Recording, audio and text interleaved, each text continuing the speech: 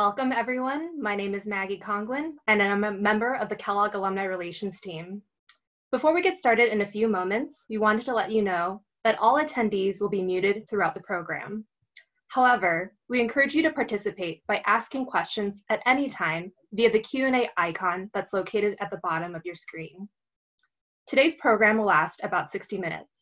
Dean Cornelli and Vinita Gupta will have a conversation and address audience questions throughout the program.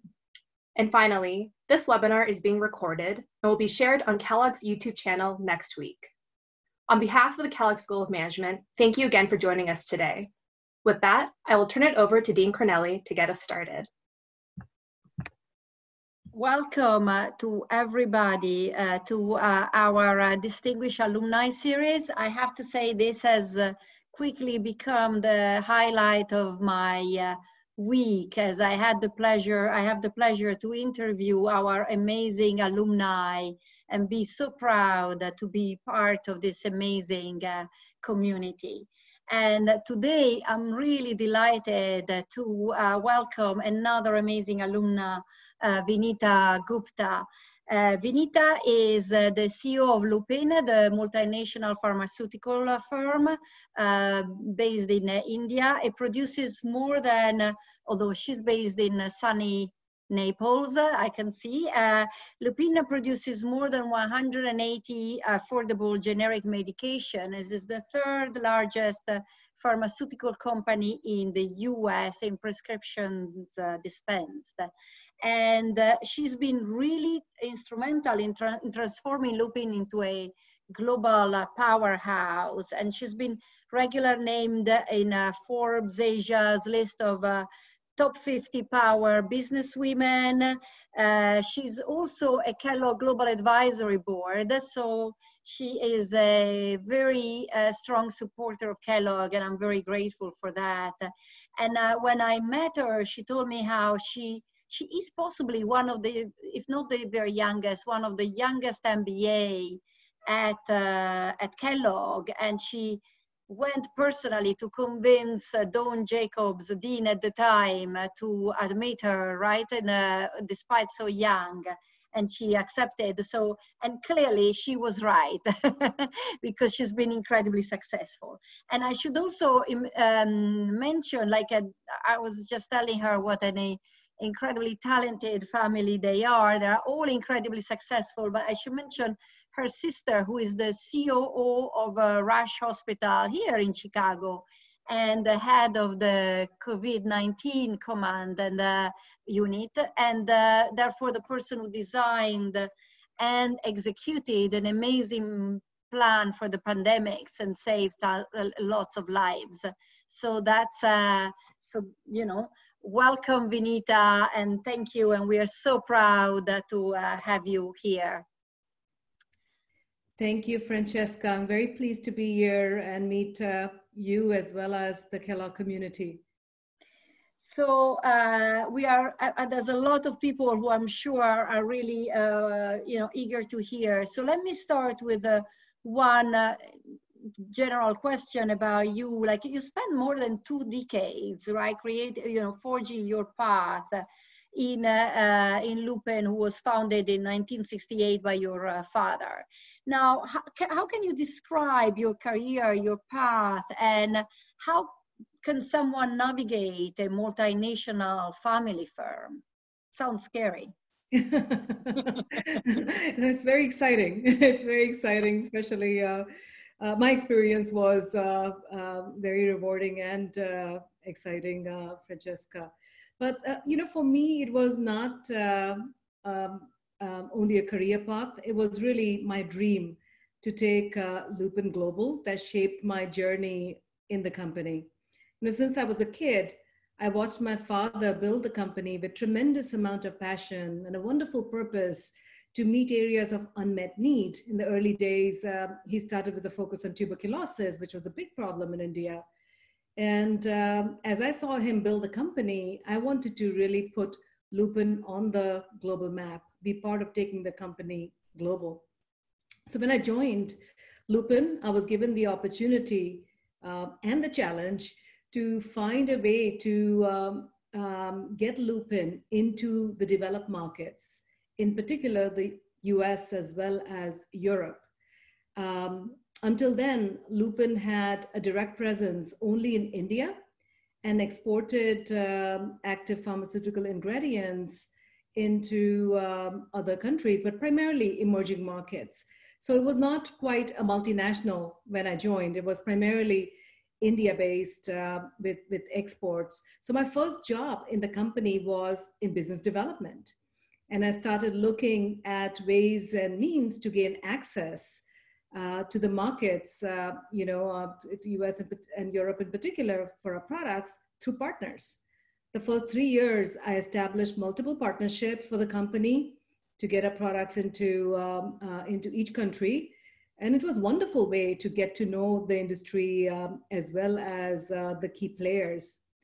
Um, so soon after we entered the US and European markets, I realized how important it was to control your own destiny and uh, be direct uh, into the market. Um, so we decided uh, that we're going to find a way to establish a direct presence in uh, a few countries, the US being the largest. So I moved to the US at that point, um, and I started with uh, three people in uh, Baltimore, Maryland, uh, um, you know, in 2001, 2002, and started building our US uh, operations and uh, was fortunate, um, was able to build it uh, to over a billion dollar business um, organically with uh, um, very strong collaboration um, um, between the US as well as India, making sure we get right products from India into the US, as well as uh, bringing some strong talent into the US to help me achieve that uh, goal. So today Lupin is uh, the third largest company by prescriptions dispensed in the US. Um, and it was a wonderful journey to really build it from scratch. So in uh, 2013, I was elevated to the CEO position and um, have had the opportunity to work on really expanding the geographic footprint of the company further through multiple acquisitions. Uh, we did uh, 15 acquisitions in um, a, a, period of five years to be able to get into all of the countries that uh, uh, we wanted to uh, be in long term. Uh, as well as um, you know starting to build uh, new growth drivers for the company. So the last five years has been again navigating uh, the next phase of growth. you know, building new growth drivers for the organization that we're just at the cusp of bringing to market now. So it's been a tremendous journey. That sounds actually really exciting. So, you know, it, it's very interesting because you're, you're talking about a family business, which is something at Kellogg we study a lot. And now also we are in, in the middle of a crisis and also at Kellogg, we really like to, you know, teach, we proud ourselves our teaching on crisis management. So I wanted to ask you about, about the two, right? I mean, are there any advantages to navigate a crisis, especially one like the present one with a family business? How, what was your experience? Or are there also disadvantages? What, what's been your experience? Yeah, so um, uh, they're both advantages as well as disadvantages. I mean, the big advantage uh, is um, uh, for us in particular, um, you know, we were relevant to the crisis. Being a pharmaceutical company, um, we intrinsically, you know, had the position to to weather the storm. So that was a great start for for us already. I mean, uh, as a family owned business or family run business, because Lupin is really a listed company with a large family presence, large family ownership uh, now, uh, we created a culture in the organization where um, um, our, uh, uh our um, um, you know, team felt very much part of the organization. You know, my, so, so one of the areas that uh, was uh, that I focused very hard was very important to my father. That Lupin should be an organization where uh, family work like professionals and professionals feel like family, and we really created that kind of sense of ownership where people really you didn't have to ask them; they uh, knew they had to step up really to respond to the crisis. So um, that certainly helped us tremendously to respond very rapidly in a very agile and very nimble manner um, right from the onset of the crisis uh, to this day as we try to bring our um, uh, people back to the workplace uh, safely. I mean, um, um, so I think uh, there are definitely more advantages than disadvantages, but uh, the downside is um, is stress.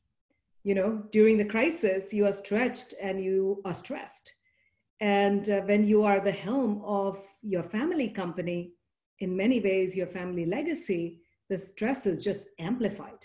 You know, so finding ways to manage through the stress while ensuring a viable path ahead is crucial.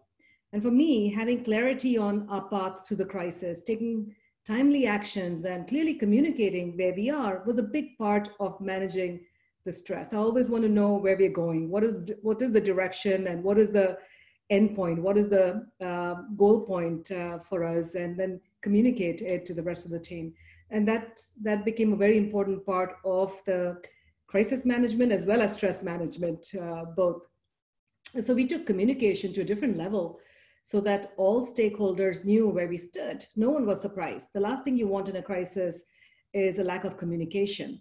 We came up with multiple forums to ensure effective communication, at some points, even over communicating, you know, but you can never communicate communicate enough in a crisis. Um, and I think that really went a long way to help us do the right thing, right thing through the crisis and uh, make sure that uh, we come out of it stronger as an organization. I mean, on the personal front, uh, uh, you know, again, stress is, uh, you know, dealing with stress was a real downside. And, um, but uh, the time with the family during the lockdown and discovering some of my rusty skills like cooking in the absence of house help was a great stress buster, you know, as well through the crisis. I used my Peloton more than ever through the lockdown. So, so multiple, um, you know, tools for stress management, both uh, at work as well as home.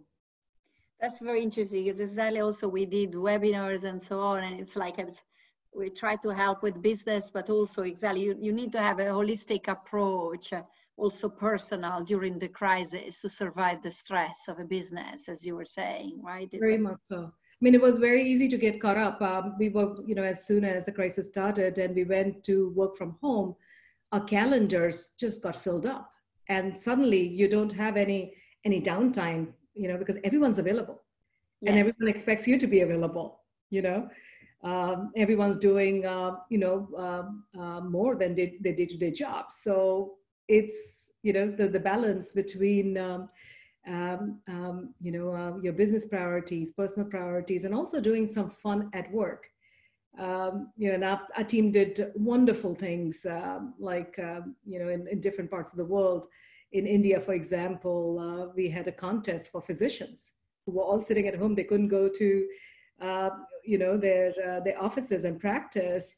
Uh, some of them are very talented, and we came up with a with a you know music vocal contest that um, I finally was you know was honored to to be able to judge uh, the the finalists from the 3,000 people that uh, participated. So, so we tried to really uh, bring in a, a number of um, different interventions to enrich, um, um, you know, our people while they were at home, um, while still making progress, um, you know, um, ensuring business continuity, as well as, uh, uh, you know, balancing the family. Yes, that's very interesting. I'm seeing a lot of questions coming up for the on the pharmaceutical industry, but let me ask you a couple of questions more about the this crisis, uh, if you want, because we're very interested. So, has uh, Lupin got involved either directly or indirectly in the development or production of any COVID-related product? How did so right from the beginning, uh, Francesca, we decided, uh, we established a, a, dual mission for Lupin. One was to keep our, our, employees safe. That was number one. And two was to join the fight in whatever, whichever way we could. So first thing we did was uh, look at uh, our current portfolio. What do we have that is relevant um, for COVID? And we realized, uh, you know, as a company that has a legacy in um, anti-infectives, in antimicrobials, as well as uh, upper respiratory tract uh, products. We had a number of products in our portfolio that were very relevant. We had products like azithromycin, where we are the largest uh, producer, largest supplier of the product in the US. We had hydroxychloroquine, which uh, came under a lot of, uh, uh, came under a, lot a big cloud, but uh, it is yet to be seen. I was this morning talking to our team in India, and they were telling me how widely hydroxychloroquine is being used as a prophylactic for, you know, uh, of course, it has to be approved by the agency in different countries, but um, there are countries that, uh, um, you know, are currently using the product. Third, we had a product, albuterol, that for respiratory distress that was, um, um you know, uh, uh, being used and the, the, the demand really ramped up.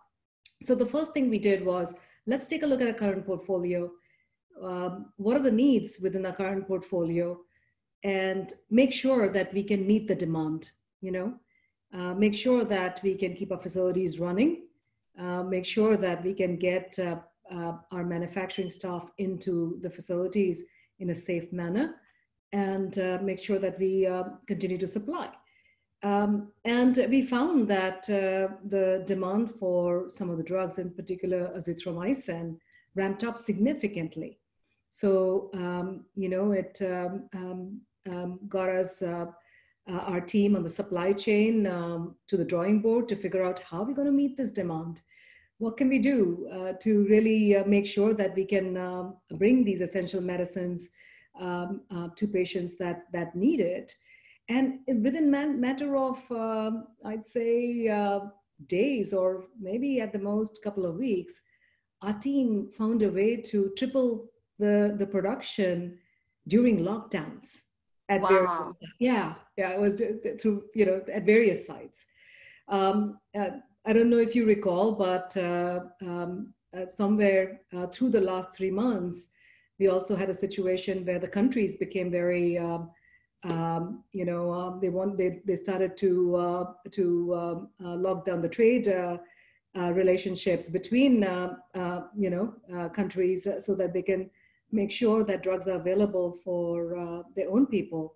So India lockdown, um, um, you know, supply or uh, uh, uh export of medicines like um, um, hydroxychloroquine, which at that time was uh, uh, considered crucial.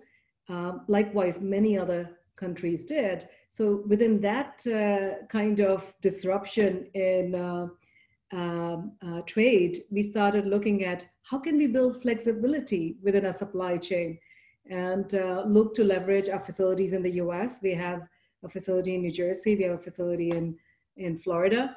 Um, started looking at tech transferring products between India and uh, uh the US. Uh, got uh, um, a blessing from the FDA to, um, you know, so work very closely with the regulatory agencies to ensure that uh, we can expedite those products and really have a flexible supply chain and made it happen. So, you know, we did a lot of, um, um, you know, really looking at what can we do with what we have and made sure that we continue to uh, meet the demand um, in the market uh, despite challenges in the lockdown and the lockdown, even the, where our facilities are, was a, a big, big challenge that uh, we had to overcome. And um, uh, logistics was another challenge. You know, for uh, a good period of time, um, ocean shipment uh, was shut. Uh, you only had air shipment. Also, air travel was under strain. So the cost of uh, transportation went up five times. Um, so wow. yeah, there were times that you know we didn't make any any margin on our product, uh, but we said we have to make it available for the patients. You know, so that was that's what that was what we did with our current portfolio, and then we decided that we will uh, track very closely all the products that are in development, and anything that looks promising, we will start to get involved.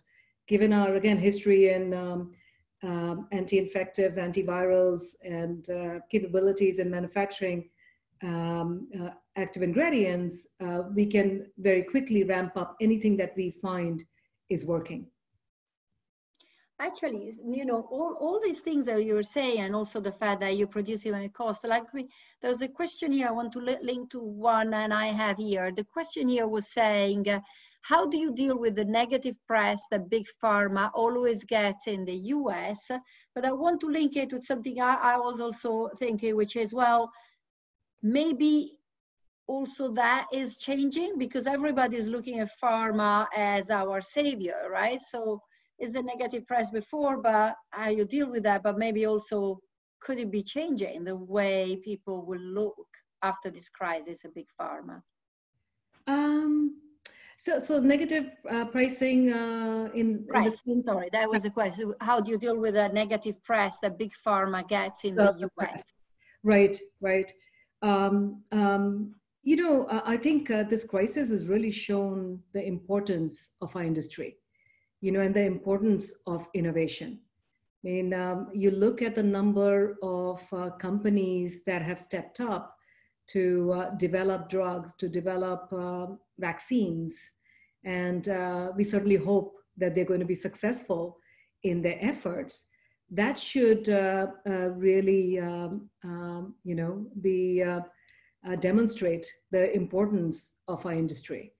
And, and I think uh, that uh, the dialogue has changed a little bit in the last few months.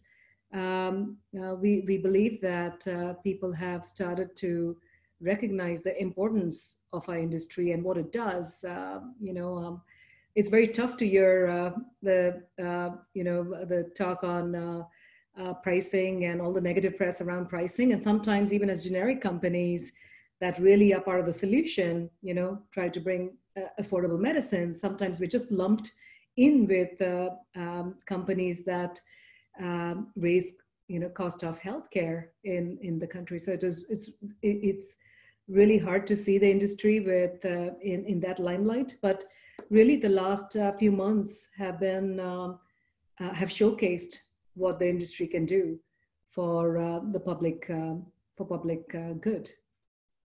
And, and given that you, you, you raised the thing about innovation, right? How do you approach, uh, I mean, Lupin approaches the drug innovation? How do you decide what to pursue, what to postpone? Yeah. I'm thinking also the public good, right? Not only the, your business in a way. Yeah. So a big part of our business is generic drugs, which is affordable medicines. And the focus there is really to bring affordable versions of existing uh, brands across multiple therapeutic areas. Um, and we have a broad presence in generics, uh, uh, in anti-infectives and cardiovasculars, CNS drugs, women's health products. To, to an extent, uh, you know, the generic side of the business is therapeutic area agnostic. It is more focused on technology platforms and capabilities and the ability to um, uh, bring a pipeline of products as patents expire to be able to, um, um, you know, um, bring affordable versions of branded products to market. So we have approached drug innovation uh, through two, um, in two uh, ways. One is building capabilities in specialty areas of unmet need. For example, we decided to focus on women's health in the US, um, an area where we felt a lot of the big pharma companies had uh, um, you know gone, gone gotten out of. So there was a real uh, uh, gap and there was not enough innovation. So we decided to focus on women's health and now have a business uh, we have a team we have a product in the market and we have multiple products in development. So it started with a focus in, uh, in a therapeutic area where um, there's an unmet need Likewise, um, in um, Europe, we decided to focus on neurology. Um, you know, we have an orphan um, um, drug uh, neurology product on the market for a condition of high unmet need. Um, we're trying to bring this product also into the US market. So it's, uh, we, we really focused on specialty from the lens of where is, uh, where is it that, that you have an unmet need and how can Lupin serve it? Um, the second thing we did was we built a discovery um, um, um, capability, a team, with a focus on discovering first in class or best in class programs. And this was with a long-term vision for Lupin to bring its own molecules to market. Know, over the past 10 years, we have invested in uh, to a couple of areas and have been successful in developing and partnering two novel oncology programs that are potentially best in class. So, so that was the other way for us to get into innovation in the early stage discovery um, and uh, really try to be at the cutting edge from uh, uh, uh, a therapeutic area and the need standpoint to develop best in class programs. So, with a lens of trying to really address unmet needs, we are, I believe, we focus on the public good. Mean, from a business standpoint, of course, we try to stay disciplined on our investments and return criteria uh, to ensure that we are doing the right thing uh, for all our stakeholders. But we have a few areas that we have focused on for, for public good specifically. I mean, we have a strong presence in tuberculosis products and an emerging presence in antivirals across the globe, in particular in the high burden countries like India, Southeast Asia, Africa, Latin America. And we have a vertically integrated position. So we manufacture the API, we manufacture the finished product so that we can try to bring access to affordable medicines in these therapeutic areas. Um, and uh, second, a focus and commitment uh, on the generic front, uh, through which we bring uh, access to affordable medicines. Um, it's, it's, you know, um, makes a material difference. Just in the US, on an annual basis, we contribute $18 billion worth of savings to the healthcare system. So I believe we have a very balanced business that creates value and meets patient needs, healthcare needs, and makes a difference. That's very interesting. Now, I, I, see two questions that got interested by because you mentioned acquisition. One said, you mentioned 15 acquisition in five years. How did you plan for that? And another related said, you mentioned that a lot of your growth was through acquisition. Can you comment on your process for identifying potential acquisition and your subsequent approach to acquiring those companies? Sure. Um, yeah, so there are multiple questions there. yes, exactly. It's all about, you know, it's a clearly, you know, how, how, how did you accomplish and uh, such yeah. an amazing growth through acquisition? Yes. So, um, uh, so I, I, must say that the first uh, uh, part of our global expansion was really organic to really get to understand markets, get comfortable, in particular with the U.S. market, with large markets. Uh, um, and then once we got comfortable and we had the platform and the pipeline, we said now we can really leverage this pipeline globally if we had, um, you know, beachheads, if we had, front, you know, uh, a presence across multiple countries. So the way we approached our acquisitions was uh, we got very strategic with, uh, um, you know, the countries where we wanted to be present in. So um, initially we were present in India and then the U.S. through our, um, you know, um, through our venture in the U.S. But um, uh, we started uh, first with the geographic, geographic expansion and got into Japan, made uh, two acquisitions in Japan. Um, um, so then we've gone to South Africa, uh, made a small acquisition there, and then built it up uh, very well after that. Um, we got into Germany uh, through an acquisition.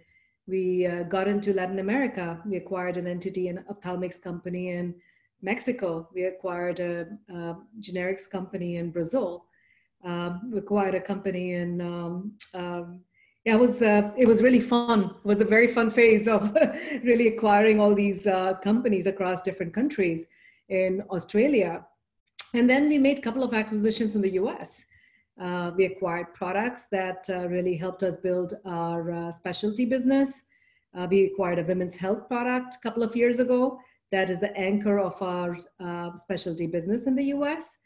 Um, we um, acquired a company in New Jersey um, that uh, gave us uh, a very strong uh, R&D manufacturing base in the US, which is uh, uh, was very important part of our strategy to really have a, a global supply chain.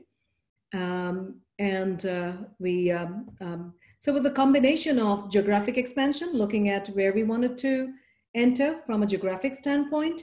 Um, second was platform capabilities. Uh, like this, um, you know, um, acquisition in New Jersey was really more acquiring platforms. And, um, um, you know, uh, likewise, we had a company in the Netherlands that we acquired uh, for um, injectable platform um, capability.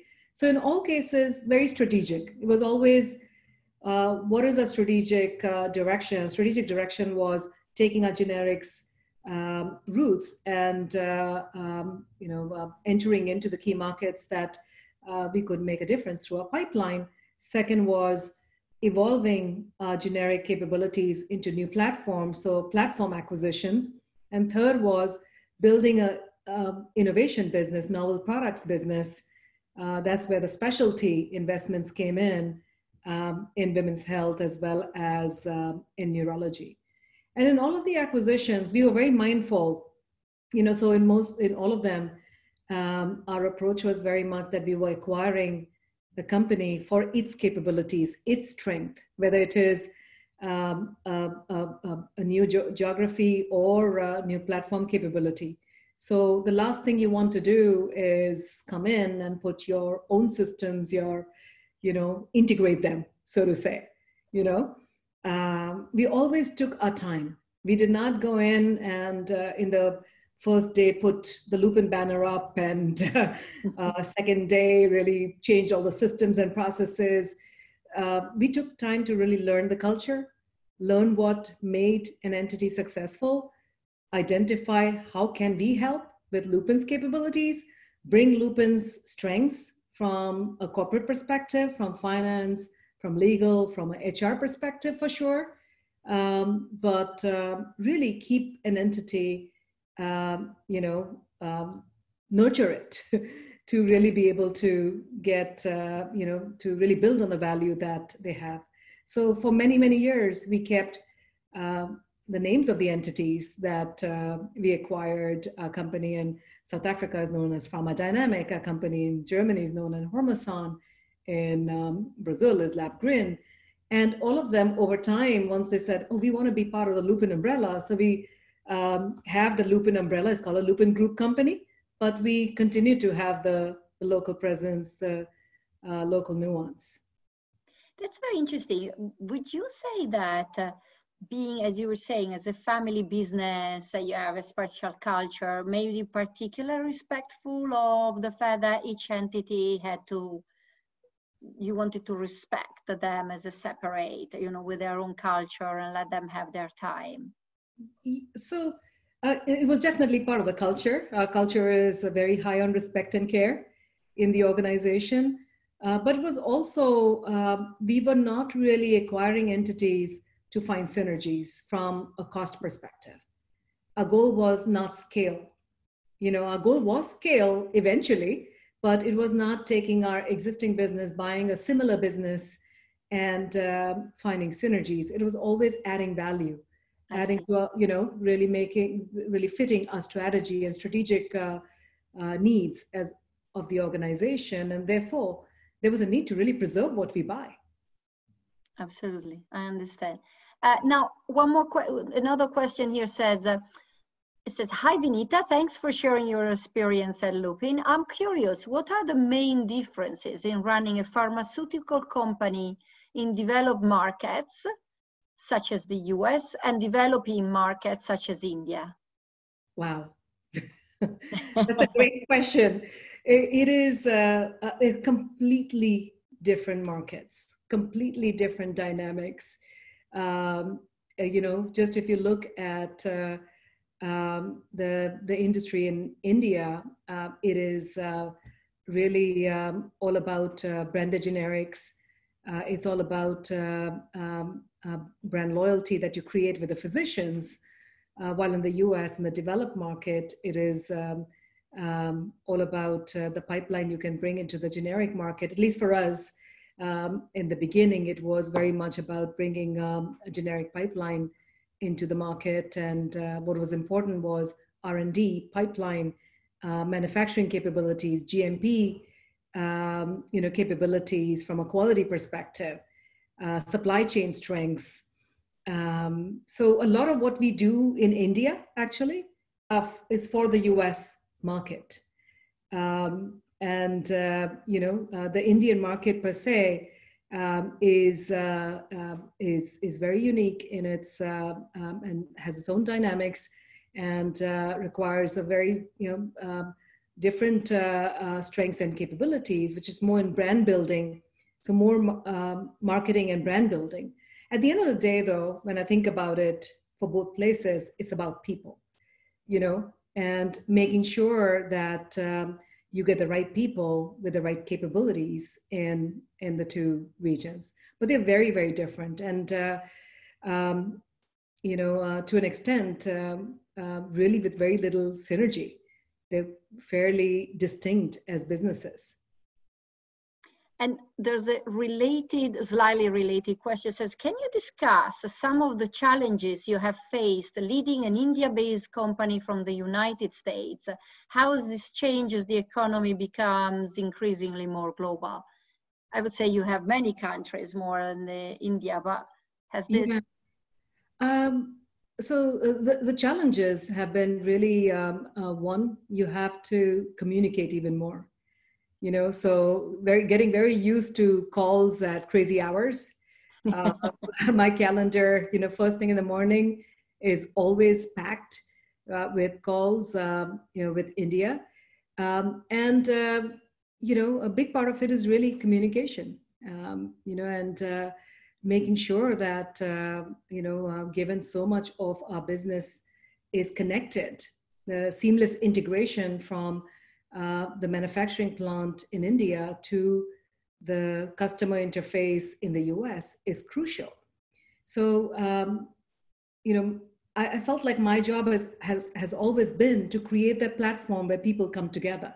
You know, make sure that we create more forums where we can really um, get alignment of what we are trying to achieve and make sure that people work hand in hand to achieve that uh, objective. Um, I, I, think uh, apart from um, the internal challenges, there are external challenges, you know, from a stakeholder standpoint, um, um, you know, um, um, managing uh, our, our, shareholders. And, you know, so I travel to India quite often. Uh, got very used to that 15 hour flight, uh, uh, nonstop flight uh, to India. Actually, this has been the first time in, I don't know, 10 plus years that I haven't traveled to um, India in three months, but otherwise I'm always there every other month. Um, but uh, to me, uh, you know, at the end of the day, uh, business is all about uh, having a vision and having a purpose, a mission, and aligning the team anywhere in the globe to that purpose and mission. And it's a lot about, um, you know, making sure that you have the right forums to um, to engage the team, to build that buy-in, and uh, uh, and then track and monitor the progress, and uh, um, you know uh, make sure that uh, things are moving in the right direction. Yes, that's. I'm, I'm, getting so many questions. You're clearly inspiring uh, everybody. I have another one that says, could you share some effective steps that you took to professionalize Lupin as a family business? What would you recommend to folks entering similar situations? Um, so, so um, we worked very hard to make sure that we can attract the best best talent in Lupin. You know, and uh, I think I might have mentioned earlier that uh, it was very important for my father for Lupin to be an organization where uh, uh family work like professionals and professionals feel like family. So, uh, you know, um, we were, we always demonstrated as family that uh, uh, we, we have to be held accountable. I, I always, um, you know, um, as, as I built my, um, um, you know, career, so to say, in Lupin, it was always about earning my right, earning my position. And, and that is important so that professionals also know that uh, the company is a meritocracy and um, you know um, uh, if they do the right thing for the organization if uh, they have the ability to take the organization to the right level they have the opportunity to do so. So it was very much about really uh, uh creating a culture where um, people knew that they can grow in the organization uh, to any level in the organization. And um, you know fostering that uh, feeling of family in the professionals and uh, demonstrating as a professional as a family member i work like a professional it's one and the same um, and and then building a culture of trust empowerment um, while holding people accountable you know I'm sure there'll be a lot of people who are paying a lot of attention to that. I have now another couple of questions. There's a lot of people who are clearly interested in pharmaceutical industry and want to know more about the future of lupin. One says, lupin has been making big strides in the biosimilars space. Where do you think future potential and growth lies for Lupin? And I'll read you another one also because I have so many questions. Hmm. What challenges do you see in the future with intense competition in generic in US market given the pressure from bulk purchases by big wholesaler and not-for-profit company like Civica? I mean, these are big questions, but if you want, the question is, where do you see Lupin in the future, right? Sorry, I'm bound, because I can see my, the number of my question growing exponentially. You're clearly raising a lot of questions by people, yes. Uh, I, I feel like I'm really blessed and fortunate. We at Lupin are very blessed. We have multiple growth drivers in the organization. I will start with the biosimilars um, as the first question was biosimilars, it's an area that we've, we've been investing in for the last many years and um, have uh, recently uh, been able to really get uh, to, validate, uh, to, to a point of validation of our capabilities. So we really look at uh, biosimilars as the future of the generic industry. If you look at the generic industry and look at uh, the products going off patent over the next 10 years, more and more, more products going off patent are biologics. So for companies to really participate in the generic industry long term, you're going to have to be a biologics, a biosimilars player. And that is the vision with which we decided to build biosimilars capabilities, biologics capabilities. We said there's going to be a time when um, it's going to be important to bring uh, uh, affordable versions of biologics to market and Lupin ought to start building the, the capabilities now. So we have a, a few uh, products in development right now, um, a couple of oncology products, rheumatoid arthritis product, um, a couple of ophthalmic products, and uh, got our first product approved uh, actually last week in, in, in Europe, which was a, a, a great validation um, um, uh, for our team. And uh, right now are building the go-to-market uh, plan for the US. So it's a very exciting time for a US uh, generics as well as um, institutional uh, team trying to navigate, uh, you know, and uh, um, create the business plan for biosimilars in the US. Um, in other markets, we decided to partner. We decided that, uh, you know, biosimilars right, right now, since the market is still evolving, they are really, um, um, um uh, they, it's a hybrid commercial effort you know, uh, much like branded in some countries. In some countries, it is uh, more efficient. So um, um, in countries like US, we decided to go direct. In other countries, we decided to partner with companies that have the capabilities to promote our products to be able to um, build um, share effectively. So very excited about biosimilars. And as I mentioned, I see it as a future of generics um, certainly we as Lupin are very well positioned to um, uh, build uh, that as a material growth driver for our organization. As far as pressure on the generic side of the business goes, uh, yes, we have no dearth of pressures on the generic side of the business, especially with the customer consolidation.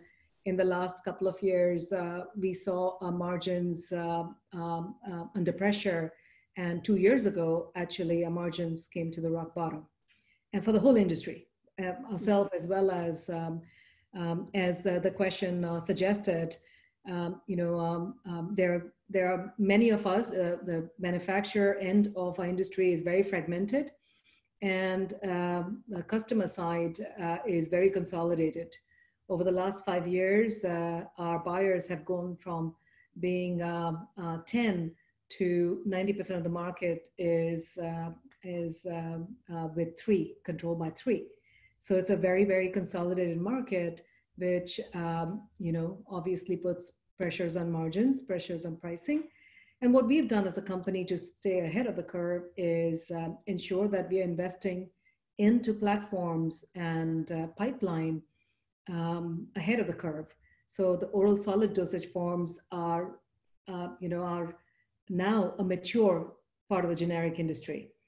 Um, you know, there are opportunities on the oral solid dosage form, but for a generic company like ourselves to grow on a consistent basis, we had to access other platforms. So six years ago, we built capabilities in inhalation products to do meter dose um, inhalers and uh, dry powder inhalers devices. So in Coral Springs in Florida, we established a facility to um, um, develop uh, MDIs and DPIs, have filed multiple products, one of which is very relevant uh, through the COVID crisis that we're hoping to get approval for any day now. Um, you know, um, likewise, we built capabilities in injectables. We acquired this company in Netherlands to gain access to uh, depot injectable uh, uh, platform capabilities.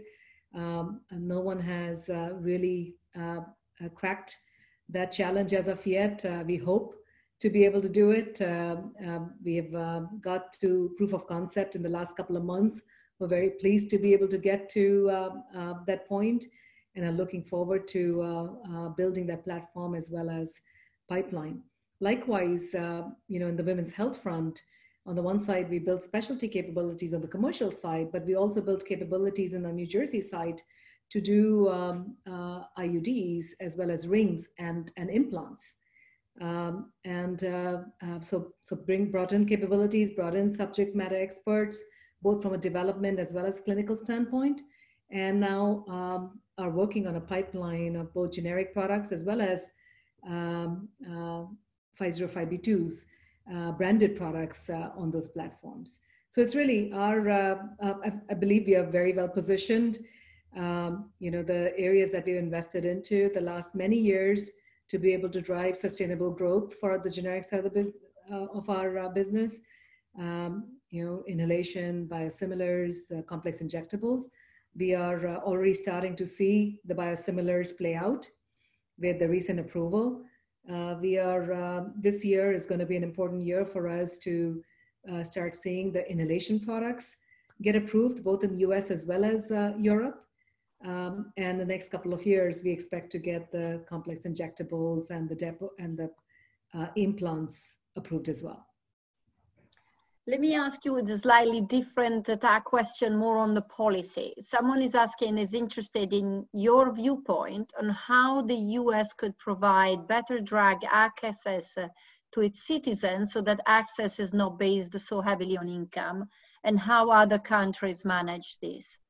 That is a big question. It's a very big, big question, and, and, and countries are very different, right? Uh, um, I mean, each country has its own policy and uh, um, um, it, its own uh, supply chain system that uh, um, you know um, uh, ensures access of um, uh, medicines to to patients.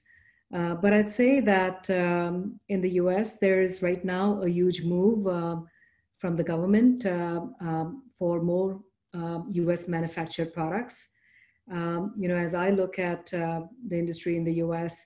over the, you know, just given um, uh, where we are through the crisis and uh, all of the challenges the crisis has, um, um you know, brought to the table, uh, I expect uh, that uh, a number of our patients will move to Medicare and Medicaid. So the government component of coverage is probably going to increase in the US and uh, likely making um, uh, drugs more affordable, more accessible uh, to the patients. Um, and likewise, there are companies that are working on direct to patient models, uh, especially on the digital side of our industry. We come across companies that uh, um, are looking to uh, really go direct from the plant to Civica, as an example that I think uh, one of um, uh, the questions uh, suggested um, that are trying to really come up with an integrated model um, you know, and a simplified supply chain from uh, uh, the manufacturing plant to patients, uh, we will certainly see an evolution in that direction as well. And, you know, we are getting, unfortunately, towards the end. Let me ask you one, one question from here, and then I have a final question for you. One is, what classes or experiences at Kellogg have shaped your professional career? Ah, so, uh, you know, I chose Kellogg, um, and that's why I was uh, very particular to try to get into Kellogg. I really was, like I said, it was my dream to take Lupin Global. I had always heard about Kellogg's, uh, you know, um, uh, reputation on the marketing front, the international marketing. Phil Kotler was uh, there at that point in time, uh, took his class. Um, uh, Dean Jain was uh, there, uh, ran a channels class, uh, you know, a market channels class at that point in time. That was important to me. So, so really, international business and marketing was a real focus for me personally. Um, and Kellogg was known for it. So um, I, I was very, um, I really wanted to um, uh, to benefit from uh, the strength at uh, um, Kellogg. and yeah, and uh, you know exactly what you're saying. You arrived there when you were 20 years old, right? And and uh, you you managed to have this fantastic uh, career and really, you know, realize your dream, as you're saying, to bring the company global. But so, what would you advise advice would you give to other young people, particularly women, also, right? That they are entering the force now. How can they convince people they are ready to take a challenge? Sure. And I want to say, while I was at Kellogg, uh, one of my projects, and I created a team around it, was uh, to bring Lupin into the U.S. generic market. So oh, it, I see. it was a project that I. So it I all started on. there. yeah, it was all part of uh, the plan. Uh, but you know, um, uh, the advice that I would have for, I, I think it was for me um, uh, a unique situation. I had uh, while I had uh, one year experience, work experience before I went to Kellogg. Um, I had really gotten into the business when I was 14 years old um, and would join my father in meetings and just observe. Um, and uh, you know, every summer was uh, I spent. Um, um you know, I studied pharmacy before I um, uh, worked and uh, uh, came to Kellogg. Uh, every summer when I was studying pharmacy, I spent in either our facility or other companies. I remember working in New Jersey in, in two companies over two summers, uh, really to uh, learn the industry. So I felt that I had been able to really gather multiple years of experience and determine exactly what I needed to be able to get where I wanted to go. And that's how I uh, determined I wanted to be at Kellogg.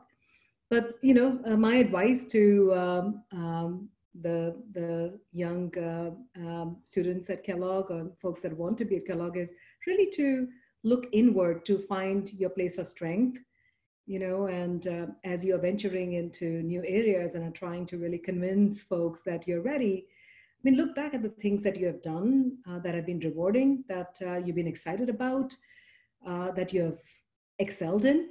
And uh, you know clearly there have to be many uh, that's why you are at kellogg you know you're part of the kellogg network.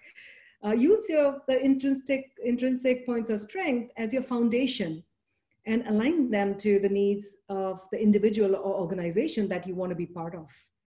Um, you know, I've, I've been a firm believer that whatever your mind can conceive and believe, it can achieve. I've always believed that right uh, from the beginning. Um, learned it from my father. Again, I had a, I had a terrific mentor. Uh, for the young women, I'd say uh, being a woman is empowering because the world has truly awoken to the power of inclusion and diversity. And doors are more open now than they have ever been in the past. So I say charge ahead through those doors and leave them open even wider behind you. You know. That's very inspirational. That's that's very very yeah. I hope people will listen. And by the way, I cannot cannot um, resist the temptation. There's another question that came in and said, great talk, besides a lot. Unfortunately, I can't keep every question, but I saw one, it was a good maybe ending. It says, great talk, I'm curious, being a female CEO of a global family business, do you manage to take vacation, make personal time for yourself and your family, and not let the company and family mission consume your whole life, besides cooking during the COVID crisis? uh, that is a very tough balance. Um, and uh, um, uh, I really have to um, uh, make time, and I, I, really put in a lot of effort to make time um, for family, for friends, um, you know, and uh, uh, unfortunately, vacation, which every year we would take at least one long vacation uh, during the summer when my son, 15 year old uh, now, who doesn't want to be with us in any case, but uh, you know, we force him to go on vacation with us. But this year we're not traveling, so we're going to be right here in Florida, and um, um, you know, it will be a very nice combination of uh, a balance of uh, work as well as fun at home, um, some cooking and. Um, time with the family. We have a very nice boat here um, on the Naples uh, harbor, you know, waterfront. And really, now I'm envious. Yeah, yeah. So th- that to me was another stress buster every weekend. Uh, while um, you know, um, I had uh, multiple of my family members that were locked into their buildings, and uh, we were able to go out on on the boat and uh, you know uh, get a break. So um, I feel like I'm blessed to have uh, this balance built into where I am right now in uh, Naples, Florida, and we'll make the most of it. Well, I'm sure. Well, I, I'm, I'm afraid we have got to the end, which is a pity. As I'm saying, I have to leave so many question unanswered. Maybe I'll send you the questions, but uh, but it's been such a pleasure. Um, and I can see from the question everybody appreciate it so much to hear your, uh, I have to say, this has reminded me as last time I met you, and there's so much passion when you talk about uh, the business and uh, and uh, how you see it going. There's so much passion in you, and it's uh, and such a great vision. So it's really inspiring. So thank you, Vinita. Thank you for uh, joining us today. It's been amazing. Thank you. Thank you so much, Francesca, for having me. I'll be I'll be very happy to answer the questions via email. Uh, but uh, I really enjoyed uh, uh talking to you, and uh, hopefully, I've been able to answer most of the questions that uh, the Kellogg community had. Oh, definitely, definitely. I think it's we'll get maybe a burst of all people wanting to enter in the pharma industry, inspired by you. We, we need more. We need more people to join join the fight. Good. You're right. Thank you so much. Bye. Bye, everybody. Thank you for today. Thank you. Thank you.